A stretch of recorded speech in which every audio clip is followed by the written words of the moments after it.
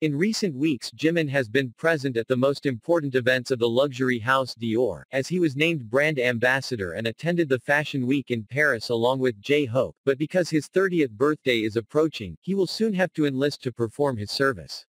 Although he is two years away from his 30th birthday, his mandatory military service will most likely begin earlier, as the reunion of the seven performers is expected to be in the same year that he reaches the age limit to fulfill this obligation. As one of the three youngest members of BTS, Jimin will have to start his military service around June 2024 to finish it in December 2025, although this date may vary if he decides to do it earlier. This is in order to finish before the year comes to an end or in case he has plans in his solo career that he wants to explore before the reunion with the stars of BTS World Tour, Love Yourself in Seoul, as stated by Suga.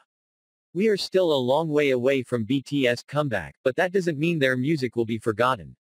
ARMY recently had the opportunity to be part of their last concert in Busan with the screening of BTS, yet to come in cinemas, so we won't miss them that much, as the boys continue to showcase their solo talents while taking advantage of this hiatus.